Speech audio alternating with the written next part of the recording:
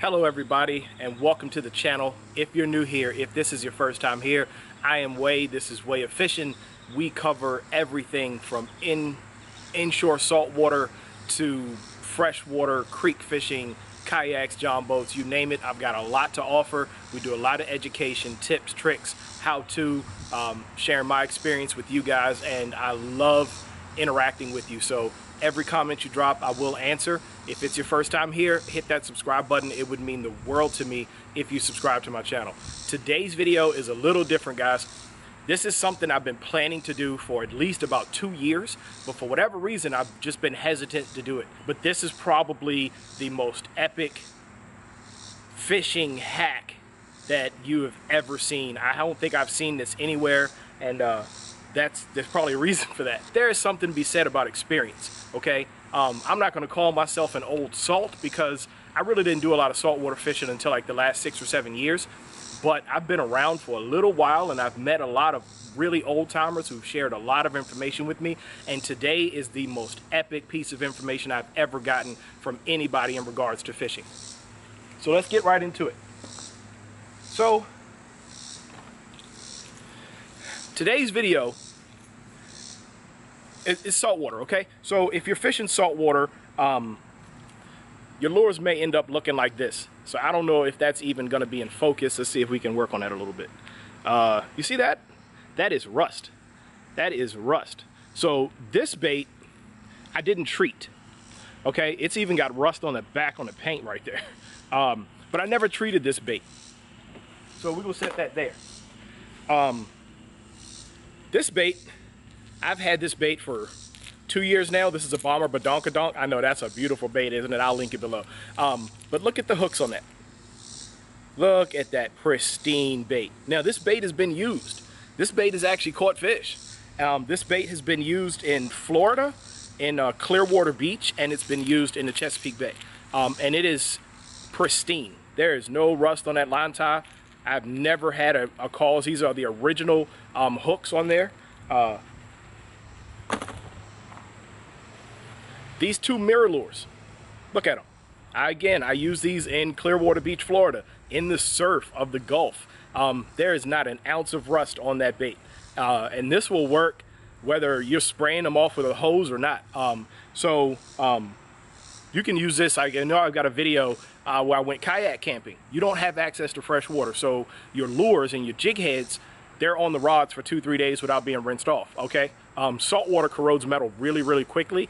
And for whatever reason, in my opinion, saltwater hooks are designed to rust out quickly. They're the fastest rusting pieces of metal I've ever seen. So um, aside from maybe a Gamakatsu. Um, this bait we're going to talk about. So this bait, you have seen this in so many videos. This is a MirrOlure double prop. Okay, um, I've lost some of these to big striper and I've you know, caught quite a few speckled trout on these. Um, the bait works fine, but I want to show you this guy. That back hook, the back hook has rust on it, but it's not like devastatingly rusty, okay? There's some rust here. I don't even know if the camera's gonna show this. Um, but look at the front. There's barely any rust there, okay? Um, no rust on the prop. Now, there's a reason for that.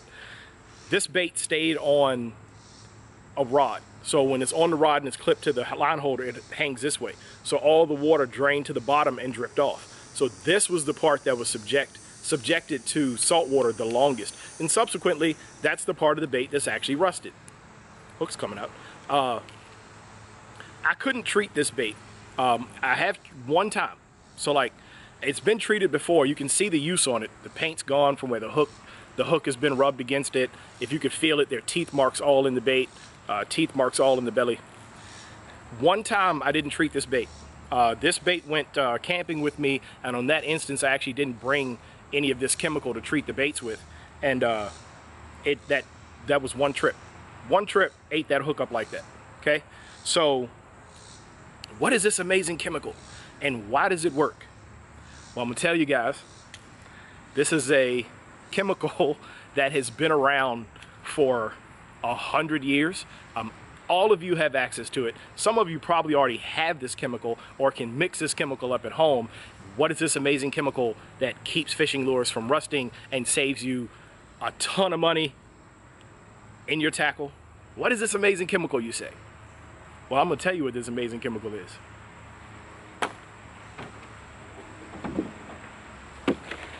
Antifreeze, guys.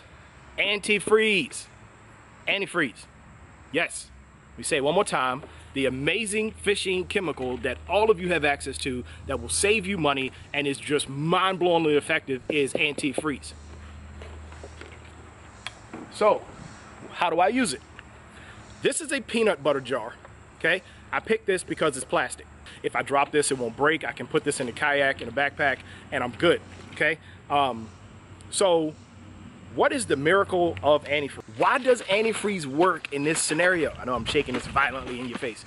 Uh, you have to understand how a car works, okay? And this is where being an all-rounded type of individual really helps you because uh, jack of all trades, master of none type of deal.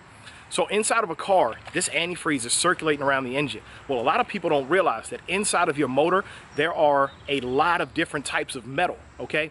When you mix metals, you cause a corrosive situation. So as that antifreeze is passing through the water pump and the hose and the engine block and the heads and all of those parts and pieces and valves and pipes and, and, and, and things, it picks up particles of the different metals. Okay, um, it's kind of like if you've watched any of the videos about us uh, building jon boats and all, we talk about adding galvanized metal to aluminum and how they react with each other and eat each other up and they'll destroy your aluminum and you can't do those sorts of things. So it's the same principle behind antifreeze.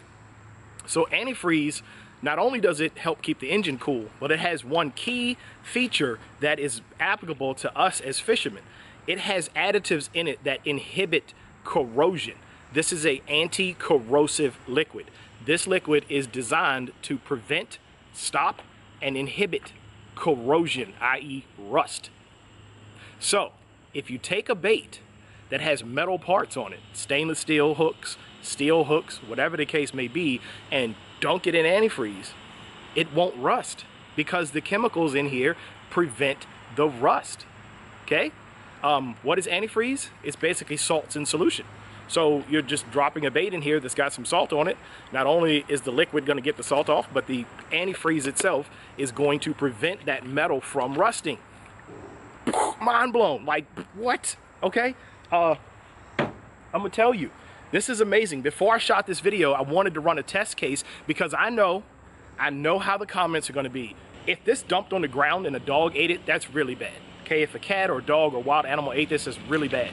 But I dropped some jig heads and a MirrOlure inside of this thing of antifreeze.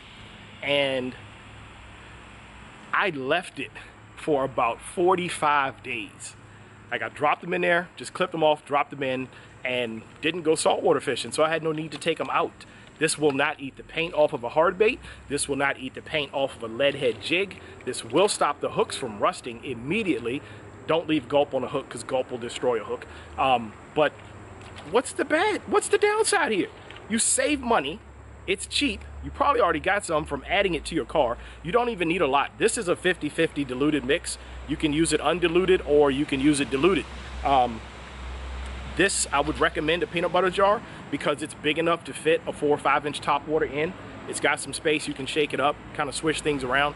You don't have to fill it as much because if you just shake it around, it's gonna do the job too. Real quick tip, if you're gonna use a peanut butter jar, it is some work to clean the peanut butter out of the jar. Um, my recommendation is, you know, the, the pods that you use for dishwashers. Um, get a dishwasher pod, drop it in some hot water um, inside the jar, and then shake it violently, let it soak. I don't know what's in dishwasher pods, but it kind of feels like you shouldn't get on your skin because it will eat the peanut butter right off the inside of this and you'll have a perfectly clean jar that doesn't even smell like peanut butter when you're done. I don't know about the pods. I know they are highly, it's a very strong base. You can tell because it's really slippery when it does get on your hands. So don't leave that stuff on your hands if it gets on there. Um, it's not acidic. It's just highly, it's a very strong base. So, um, but it will clean the peanut butter out of this jar in a heartbeat with some hot water. That's it really down and dirty, antifreeze, saltwater baits, keeps them from rusting. All you need to know. Pour it in a plastic container, get out there and go fish. Thank you for watching WAE of Fishing. I appreciate it. Don't forget to like, comment, and subscribe. I will answer your comments. I'm glad you guys are here. We're trying to grow this channel. Right now, I'm almost at 4,000 friends, and I appreciate every single one of you. Uh, make sure you check out my Patreon because there's more content there and a greater access to me and the things we do here. You can actually go and get unedited director's cut videos on Patreon.